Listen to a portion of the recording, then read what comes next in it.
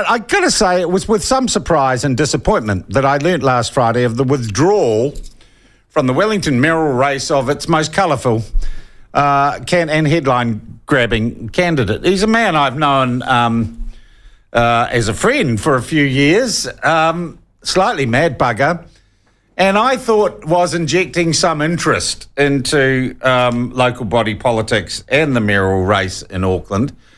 Um, but on Friday, he decided, like a wimp, he basically wimped out. He walked away, having talked a good game. Suddenly, all the fury and sound was over, and he just looked like a hollow shell of a posturing politician. I just want to get him wound up. Uh, a warm welcome, please, to former mayoral candidate for Auckland, Mr. Leo Molloy. Leo, welcome to the platform. Morning, Sean. Morning, all the listeners out there. You did introduce me as being a Wellington mayoral candidate. Oh, sorry, Barry, Auckland mayoral candidate. Yeah, what? Yeah. You're a bit of a quitter, aren't you, Leo? No, it's it's like a Muhammad Ali rope a dope type technique. Um, we uh, were firm. Well, can I get serious for a start? Then I'll have the fun with you. Yeah. So the serious bit was this: that clearly, as I said at the press conference, it was a bit like Princess Diana's marriage. It was a wee bit crowded, particularly in that centre right space. So uh, instead of cutting it three ways, we, based on our last poll, we arrived at the inevitable conclusion that we weren't going to win it. Me personally, and the centre right was definitely not going to win it. Split three ways. And in the interest of doing what was right for Auckland, for the city, I decided that the other two were apparently, Viv only entered at 10 o'clock on Friday morning, in case you didn't know. Mm. By 11.59 on Friday, you had to either enter or withdraw. If I had stayed in past 11.59, my name would have stayed on the ballot papers. And given that we were slightly ambivalent about our prospects, I wouldn't have been able to put my heart and soul into it, which would have meant that I would have attracted probably 30 or 40,000 votes just based on recognition, name recognition and that would have completely um, screwed the scrum. It would have orchestrated the result of the election, and I didn't want to be guilty of that. So we made, we had been discussing for some time Plan A, Plan B, Plan C, and a lot of our generous donors and supporters were sitting waiting for the last six weeks for the second last poll, which was came out for us Thursday night. So, Leo, you are really spinning this as it is a far better thing I do now than I have ever done before. Well, let's make it clear. This is something of a hospital pass.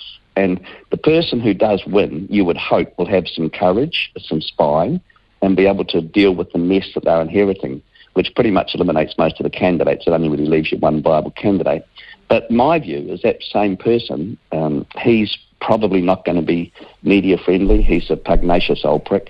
And I think he'll um, wear thin quite quickly. He won't present the image or the dream for the city. He won't be able to define the city's vision and he'll be gone in one term, and then I'll be sitting there waiting to attack again. As I said, it's a rope a dope technique. We'll just take a little break for three years. We've learned a lot along the way. We have a formidable team around us now. Who's we? Well, do you? Half your team seem to have left, Leo. One volunteer left, and one media person who was on a month by month contract decided to look at other opportunities, but we replaced that person quite quickly, and I think we all left on good terms. So it's only one volunteer gone. Don't read too much. Geez, Leo, you know, I, I hear this voice of reason, rationality, thinking through the numbers. Maybe if we'd seen more of this Leo Molloy, you might have been the top polling centre right candidate. Well, I'm also socially liberal, so let's agree that top polling traversed the entire spectrum um, candidate. But, but, also, it's a learning curve in life. I mean, going back late January, February, we, we did that Guy Williams show. Now, I wouldn't do that again for obvious reasons. Why not? trap for a young, well, trap for a young player. You know, they sat on that for what, seven months. They two and a half days to film it. They edited it down to 15 minutes. They agreed by text, Guy Williams did, to remove the swearing, which was prompted, by the way. They then inserted more swearing rather than remove what was there. So that was definitely a hit job. It was a case of cancelling. You like using the word. I thought it was good for you though overall, name recognition and everything. I, I knew people who didn't like you, who liked you a lot more after the hit job on you. Well, a, few members of the Labor cabinet told me that. One of them, well, I won't name them protect their privacy, but one of them in particular reached out and said, oh, "I never was a fan, but I'm definitely one now." So, but yeah, it was received well by some people, but they were probably already Leo fans, as distinct from the ones who were looking for a reason not to like me, and they decided that and my profanities were a bit too much. So, but as I said, I did. There's nothing wrong with swearing, uh, Leo. There really isn't. Look, I also wonder if you haven't committed the cardinal sin of believing the pollsters. And, and, and I'll be I'll be honest, Leo. We know each other. We've known each other for a while. You're yeah. a feisty bugger, and I'm kind of amazed that you've gone. Oh, let's analyse the data here. I thought your campaign was way more if you like, emotional and organic than this rather bureaucratic, technocratic approach to it. Yeah, well, I certainly have a certain flair and panache that the others didn't have in terms of what I brought to the campaign, but it's hideously expensive. You know, our original budget, which I trimmed significantly, was 1.4, and we'd spent a significant portion of that by the time that we decided to pull away. So it, it's, it's an awful lot of money, and the, the mayor doesn't get paid a particularly high salary. There's 13 members of AT staff alone who get paid more, so you're not doing it for the money. You've got to do what's right for the city. You've got to believe in the city. All right. That's why I did it. But everything has its limitations. You can't keep throwing good money after bad if, you, if you've convinced yourself that you're not going to win. Okay, you know what? You've convinced me that you actually did it for pretty good reasons, not because you thought Well, you were go- you were going to get home. If Fesso Collins won this election because I stayed in, I would be held accountable for the rest of my life, and I couldn't live with that. And I'm going to do my absolute best now to make sure he doesn't win. And that's a media story that you should be digging. Look at the Fesso Collins history. You need to have a look. I'll talk to you off, off air about things you should be looking for with him, but we cannot let him win this election. All right. Um, I saw an amazing piece of left wing punditry out of Ma- Massey University over the weekend on social media suggesting that your votes were somehow miraculously going to go to Efeso Collins.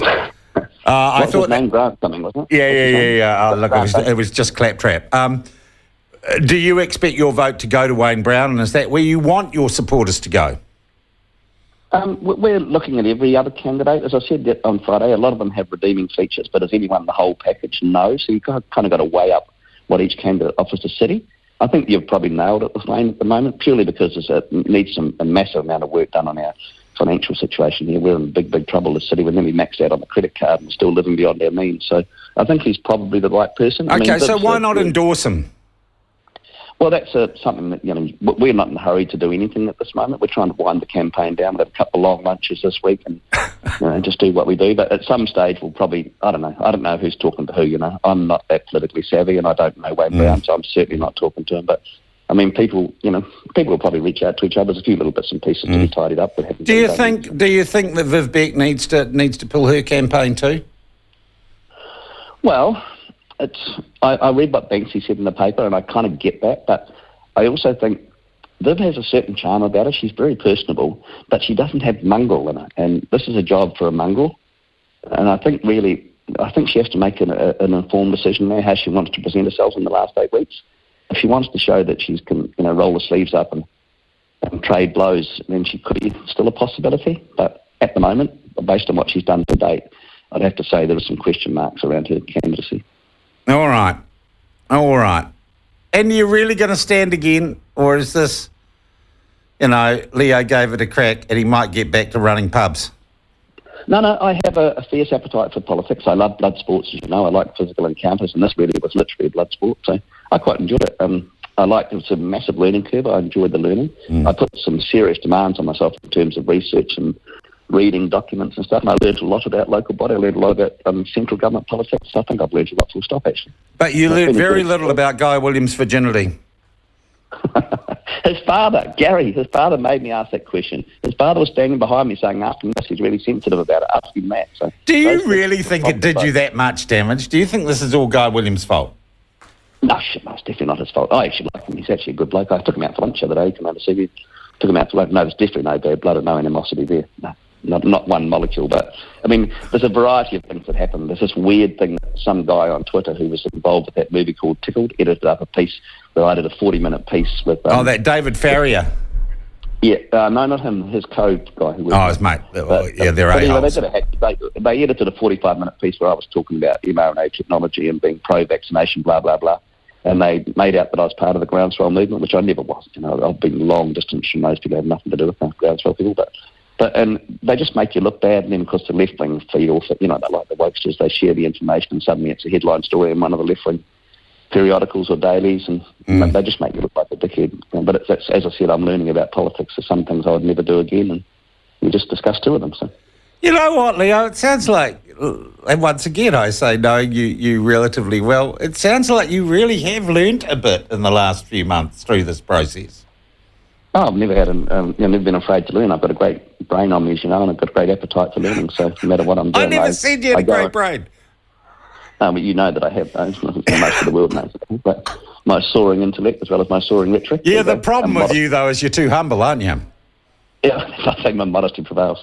but I've got a lot of other projects on. I'm looking at doing something down in Queenstown. I'm definitely doing this O'Haganson here. So I've got plenty, you know, my dance card's full.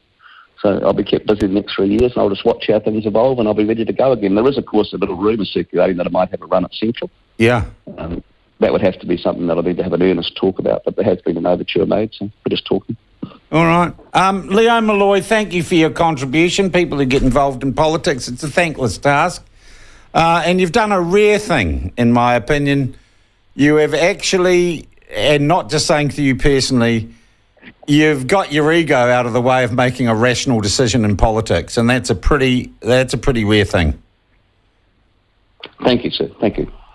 All right, Leo, we'll catch up for a beer soon, mate. That is Leo Molloy, former mayor of Canada. I'm surprised. I'm surprised at the level of self reflection and, dare I say it, political wisdom from Leo Molloy. He does need to endorse one of the other candidates.